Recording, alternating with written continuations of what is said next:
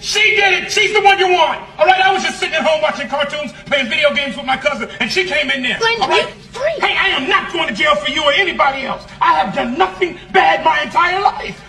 Hey, man, I'm still a very